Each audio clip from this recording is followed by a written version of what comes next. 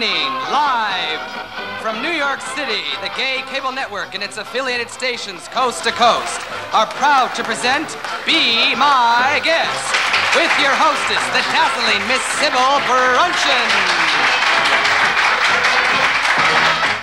Thank you so much. Thank you, thank you, studio audience. Thank you, audience at home, for joining us. This is, in fact, Be My Guest. You have not tuned in to Robin Byrd's Bang Your Box or Bounce Your Boobs or um, Fix your box. Bergdorf Your Buns or whatever it is. No, I am not wearing a macrame outfit. I am wearing a um, lame outfit. I am wearing gold lame, and I didn't make this at home like Robin does. Robin used to be a craft girl, and then she found that if she wore some of her own hanging planters and danced about and did a song that she sang herself. Who sings that for her? Does she sing that song herself? She sings Bang Your Box? I thought it was Fran Allison from the old Kukla, Fran and Ollie show. Anyway, um, this is not Bang Your Box or, or Midnight Blue or any of those programs. It is another cable television program called Be My Guest. Be My Guest. And by the way, before we introduce anyone or tell you anything about this program, there is another Be My Guest on the air. Who is the host of that program?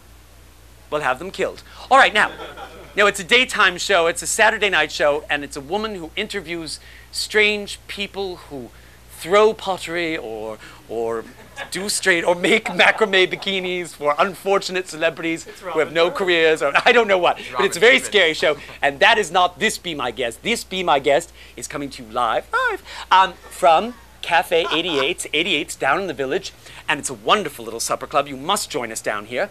And we have a panel of talented people, unlike the other Be My Guest. And they are not naked, unlike Robin Byrd's show. Now, if Robin Bird were the host of this show, you would all be expected to sit there naked and discuss your exciting oh. film careers. Now, I think that's that's something to be thankful for. I don't make you get naked to do this show, do I? Olivia Negron. Well, I certainly would get naked if you asked me to, Sybil. Ask. Stunned silence all Have around. one in the back on my face. Exclamation point comes out of the back of her head. Olivia Negron. Let's give her applause. And as you know, she's just back from LA from her successful acting career, but we're going to put an end to that. I am asking you, as the MC of this show, to get naked for our audience. Ladies and gentlemen, applause. Now. Na, na, na, na. No, no, no, no, no. oh, Olivia. You don't I- the view I do from here. Olivia, I'm sure many of our home audience and our, our studio audience would love to see you um, au natural or in dishabillé, as we say Thank in you, French. dearest. she is so gorgeous, but it would be interesting to see if being freed of the constrictions of clothes, freer, more uninhibited, Yes, she yes. might come up with the names even faster than she already does of our mystery guest. Perhaps not. All right, Mr. Oldham might, though. Um, Mr. Oldham is on her right. Kevin Oldham, ladies and gentlemen. Hello, Sybil. Kevin. Yes, dear. Now, I know you have a wide variety of brooches there and the voodoo pearls, but my dear, if you were naked, I'm afraid it wouldn't be enough to cover your talent, shall we say. oh, Sybil, you're very kind. Oh, well, I'm not very kind, I'm very observant, and thank you for that rocks date last week rocks, at the Ramada Inn. My dear, Did you take the ashtray? no, I took the towels in the bathroom, Oh, okay. I couldn't remember. and I always steal shampoos from hotels. I steal Um, champagne. Try that, dear.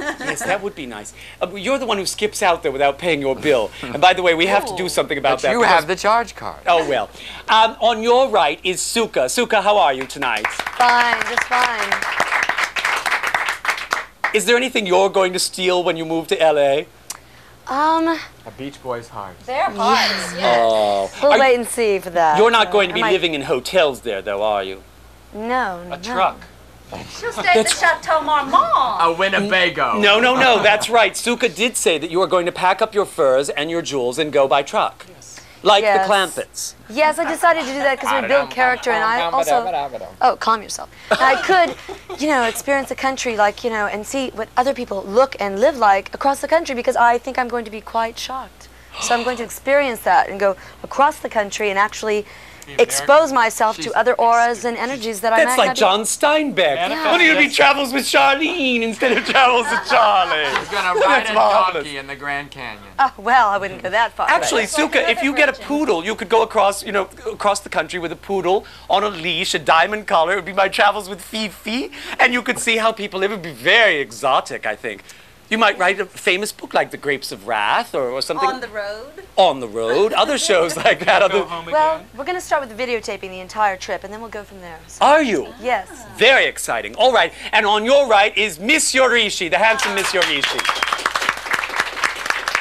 And Miss Yorishi, Miss Yorishi, having been in my employ all these years, does not go naked on the set, does not own pussy alterations or write music, is not going to California by truck, and Has nothing to say. That's correct. And there you are. So that's it for Miss Yorishi. But we are going to encourage Miss Yorishi and the rest to put some masks on. Um, if only so we can laugh and point at them. We have no mystery guest this week. Oh, look at them. They're in masks. And we could all sneak out. Can we wear a mud mask? Their masks are in place. We're simply going to out of the tiptoe out of the studio and let them sit there and see how long it takes before they realize that they've been on a snipe hunt. A snipe hunt, can you imagine? All right, no, um, we're going to have a mystery guest when we get back. You all know the rules at home. You've seen 4,000 episodes of this program. This program is beginning to look more and more like Gunsmoke anyway. I kept watching Gunsmoke and begging someone to go in and, and gun down Amanda Blake or, or to, I wish that Doc Stone would have a, a heart attack. Oh, I begged for some. I wish Festus would get gangrene in that limpy leg of his and go. And I'm sure you're hoping the same thing at home about this show. I'm sorry, what, Kevin? We'll have Miss Kitty on, and I'll bring her down to my pussy. Yes, exactly. You see, I walked into that one. All right, and you can walk into this commercial by our sponsor, but please walk back onto our program in 60 seconds. A tutela.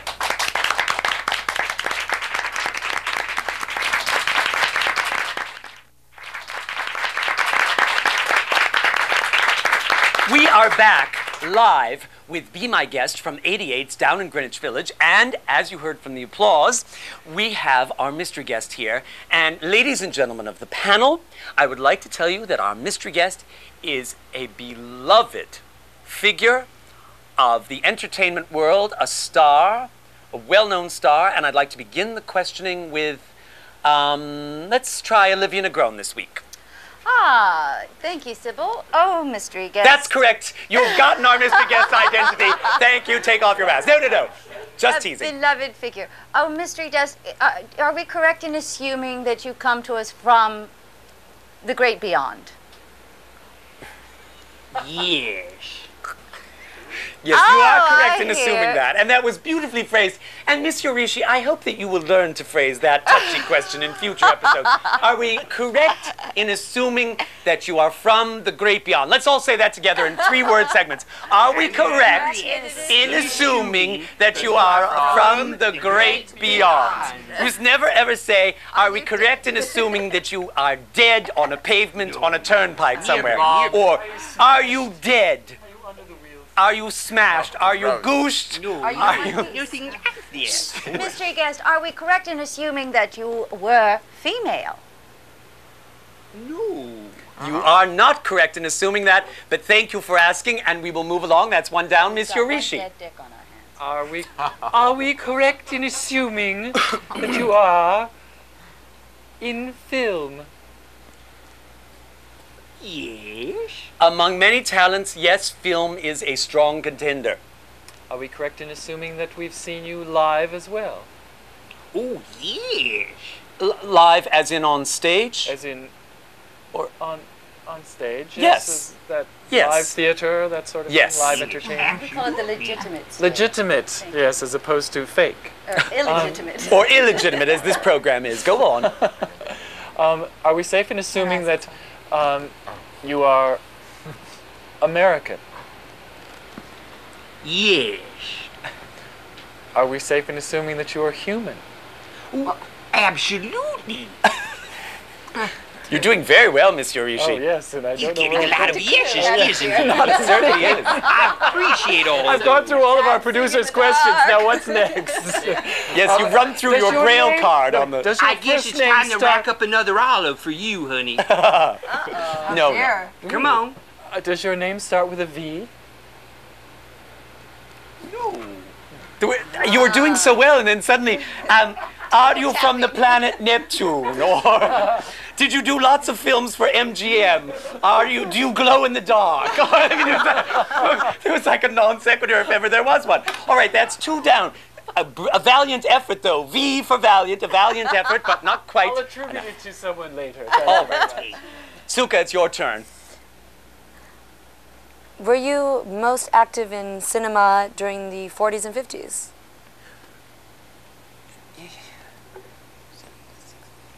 No. No, that's a no. well, that was easy to get up. Mystery guest, are you a character actor? Yes. Uh, mystery guest, did And you, an extraordinary act, a character actor, by the way. uh, mystery guest, were you in westerns?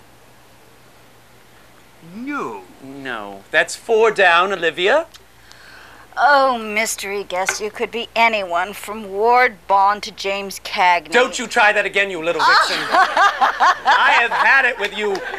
Just testing the vibes. Why don't you just bring in a library card drawer full of names and read through it for the audience's benefit? They took away your library card. Need I say Yeah, more? oh, yes, right. Oh, mystery guest. Uh, although you were a character actor, have we seen you in romantic leads? No. No, never. Um, that would be a stretch for the, the extraordinary talent of our mystery guest, but I'm afraid that's too great a stretch. Uh, that's five down and uh, five to go. Miss Yorishi. Mr. Guest, have we ever seen you in uh, uh, something musical, films or live? Yes. Most definitely, yes. Absolutely. Um, Is Carol Channing living? Yes, is Carol Channing a man? we think so.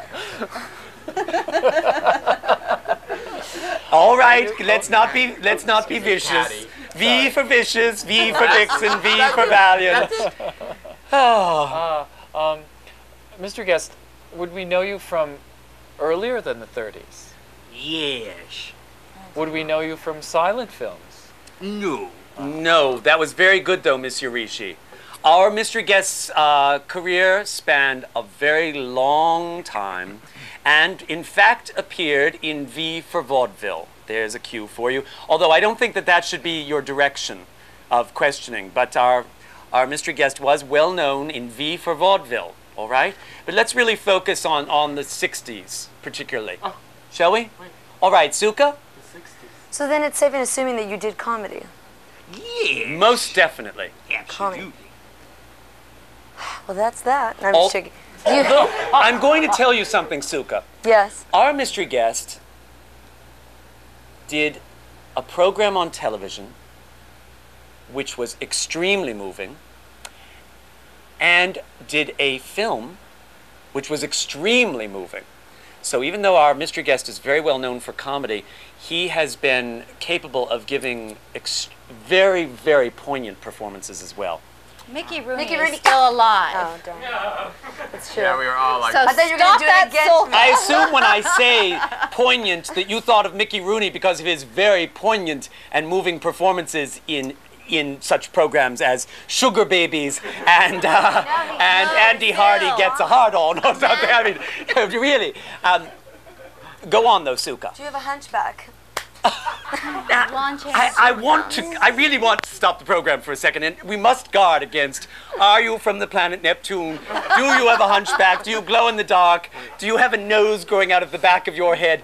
We follow certain rational questioning, and then suddenly we give the home audience a feeling that perhaps we have syphilis. I don't know. It's something scary. that our minds are going, and that we have tertiary syphilis. All right, um, Olivia. Oh, mystery guest, This is if our you're last not gasp, Lon so- Chaney Jr., then please answer this question.